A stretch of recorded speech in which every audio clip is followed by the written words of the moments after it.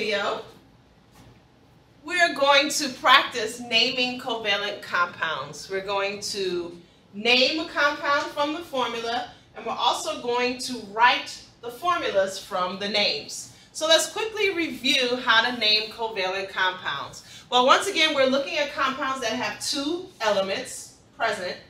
And the first element is a nonmetal. Now remember, covalent compounds are nonmetals. Two nonmetals. And when I say nonmetals, that means anything that's in groups, let's say 3A to 7A, except for aluminum and, and gallium. Okay, these two are metals. So all of these elements that we have in groups 3A to 7A are going to be considered nonmetals for the, for the purpose of naming compounds, right? We're not talking about classifying elements. We're just talking about for the purpose of naming compounds. All right, so for both elements in the compound, you're going to give them a prefix. The first element keeps its name, and you add the prefix.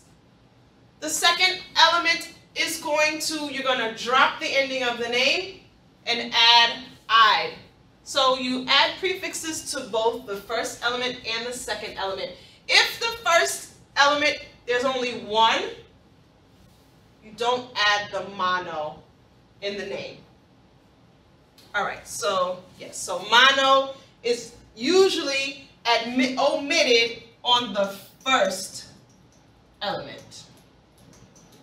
Okay, not the second one, but the first one. All right, let's practice one of these together. I'm gonna do the easiest one with you. Oh, well, you just take the, the element symbol, you find it on the periodic table, you figure out what it is. But these two are pretty simple. We've got carbon, and notice that because there's only one carbon, we don't put mono in the beginning. And we've got oxygen as our second element. There's one of them, so we say monoxide. We drop the not monoxide. Right? This is not correct. Right? So pause the video and take some time to practice the rest of these on your own, and I'll come back and give you the answers. All right, for the first one, we have sulfur and oxygen.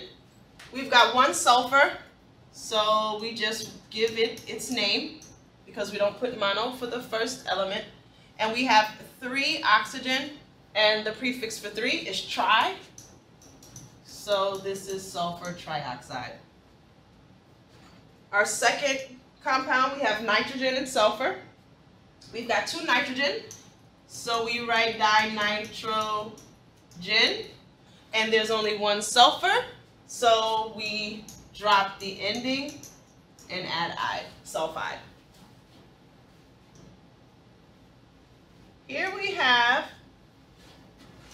notice that, oh, ide'm sorry, monosulfide dinitrogen monosulfide. We tend to usually call it dinitrogen sulfide. You can call it either one. All right, the next, uh, the next problem is we've got phosphorus and bromine. We've got two phosphorus, so we call it di. Di. Notice it's not bi, it's di, phosphorus and bromine, we've got four of them. Tetra, not quatra. Tetra, brom, drop the ending and add ide. So diphosphorus tetrabromide, not quatrabromide. And not biphosphorus, but diphosphorus tetrabromide. The last one, NO2. We've got a nitrogen and an oxygen. So we're going to call this nitrogen We've got two oxygens, so it's nitrogen dioxide.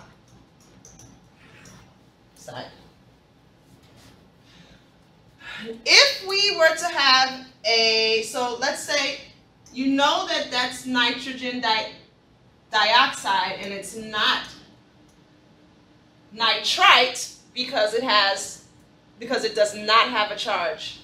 When you see this charge here, you name that as nitrite.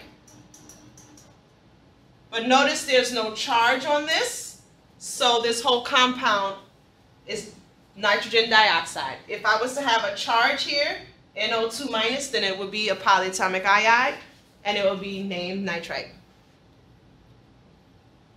Okay, let's practice writing the formulas from the name of these compounds. Uh, I'll do methane with you. Methane is one of those compounds that you should recognize just based on its name. Something like um, water, you should know as H2O, right? Uh, ammonia, you should know as NH3. So methane, which you'll learn later, is an organic compound. And uh, it's actually, if I give it the actual chemical name, which I'll give you now, is carbon tetra high carbon tetrahydride. All right, now we can write the compound. Carbon, the word carbon tells me that I have how many? There's no prefix, so it's just carbon. Uh, tetrahydride, tetra is the prefix for four. Hydride is the name for hydrogen in a compound. So it's H4. Notice that we put the number as a prefix. One more thing to note before you start naming these. If you were to see these somewhere and it wasn't on a slide that says name the following covalent compounds, right?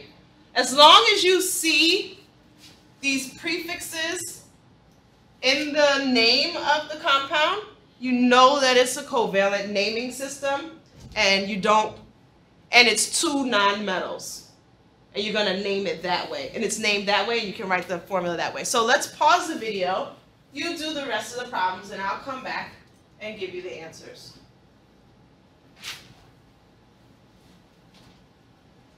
Okay, let's take a look at the first one. We've got nitrogen trichloride. Nitrogen simply tells me that I have a nitrogen atom and because it does not have a prefix, there's no subscript. There's only one. Trichloride. Chloride is the name for chlorine in a compound. But since I have this tri uh, prefix, then that means I'm going to write Cl3. 3 is my subscript that goes along with the tri. The next one, dinitrogen trioxide. Well, I know that I've got nitrogen, and I know that I've got oxygen. The di on the nitrogen tells me that I need two of those. And the tri on the oxide shows me I need three of those oxygen. Let's look at the third problem. Phosphorus pentafluoride. So I know I've got a phosphorus. I know I got a fluoride because fluoride is the name of fluorine in a compound. So phosphorus shows me that I don't have a prefix, so it's just phosphorus. But I have pentafluoride. Is the prefix for 5. So this compound is PF5. The very last one, sulfur dibromide.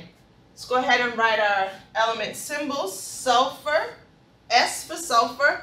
Bromide is the name of bromine in a compound. So I'm going to write the brom, the BR symbol.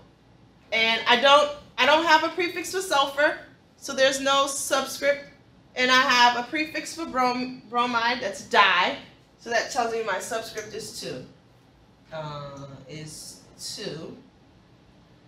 That's really ugly. Let's make it pretty. Okay. SBr2, sulfur dibromide.